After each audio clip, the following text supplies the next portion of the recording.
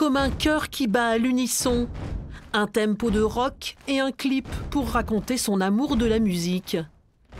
Au conservatoire de Saint-Priest, les élèves des classes de bois se sont tous entichés de la musique du groupe Queen. Super. Et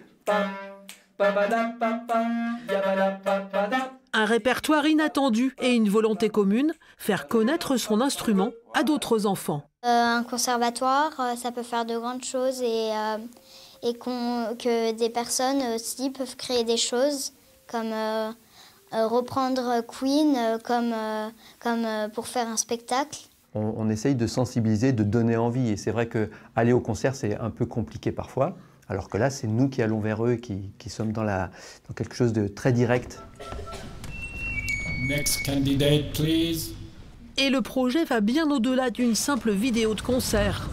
Le clip raconte l'histoire d'un enfant qui a oublié son instrument pour le concours. Le héros, c'est lui, Alexis, 9 ans dans quelques jours, et seulement quelques mois de pratique de saxophone, un instrument qu'il a vraiment choisi je suis allée à la porte ouverte. J'ai découvert tous les instruments. Il y en a que je ne connaissais pas. Et du coup, bah, j'ai découvert le saxophone et, j'ai eu un coup de foot. Euh. ce sont bien les enfants qui ont choisi la musique et le message à délivrer.